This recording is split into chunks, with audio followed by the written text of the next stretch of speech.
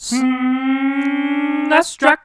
Marvel and DC got a fair share of their superheroes into 16 bit games. Marvel got Spider Man and the X Men into multiple games, DC got Superman and Batman into a few, and in 1995, Image Comics joined the party and got their first superhero video game with Todd McFarlane's Spawn the video game. Yes, that is the game's full title, and yes, I will be referring to this game simply as Spawn, as any sensible person would. As you might guess, this game is a side scrolling beat 'em up. Surprise, surprise, walk to the right, match buttons, kick the crap out of enemies, and you've seen this a million times before. So, is there anything that makes Spawn stand out from its contemporaries? Actually, yes, there is. Spawn is kind of a beat 'em up fighting game hybrid, incorporating Street Fighter style commands into regular combat, so Spawn can do stuff like throw fireballs and teleport. That's pretty badass. The only problem with this is, well, the game doesn't exactly tell you that you have all these capabilities. On the surface, Spawn has plenty of regular conventional beat 'em up stuff like this sweet ass Dhalsim kick, or being able to float with his cape, so unless you read the instruction manual, or you just happen to accidentally get lucky while mashing buttons, the game doesn't tell the player that you're capable of all this extra stuff.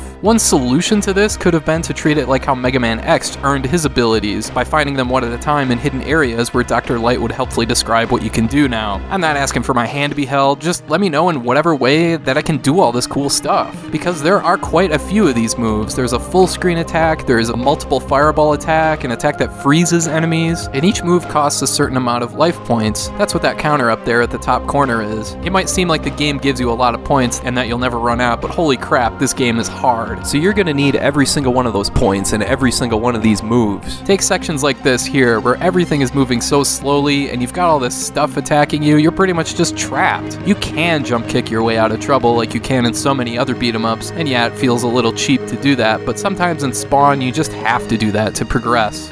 Anyway, another aspect that makes Spawn a little different is that there's no three dimensional plane here, or no y axis in other words. This is a pure side scroller, similar to how Ninja Warriors is laid out. I mean, it pretty much has to be that way for the fighting game moves to be able to be implemented. Despite my nitpicking, though, the combat here is well done. Take, for example, another game that tried to do something similar, like Batman Forever. That game is a complete disaster. Spawn is light years ahead and much more polished. Another major factor that makes Spawn stand out is the visual design. Not only are the graphics and sprite work great, but the whole presentation here, featuring still shots with some fantastic artwork here, it goes a long way toward making it feel like you're playing through a Spawn comic. The Spawn sprite in particular is really nicely done. The cape is super detailed and the combat looks really cool. I was impressed by the music here too, which fits the game nicely. In terms of a total package of visuals and sounds, Spawn seriously might be one of the very best on the Super Nintendo. I mean, just look at these backgrounds, that's badass. There's 17 levels here, and that can be seen as both a good or a bad thing. On one hand, if you love Spawn and you love this game, there's plenty here for you to enjoy. But on the other hand, it's still just a beat 'em up at its core, so the gameplay can really drag. On the bright side, there's at least a password system here, so you don't have to beat the game in one sitting, and there's unlimited continues as well.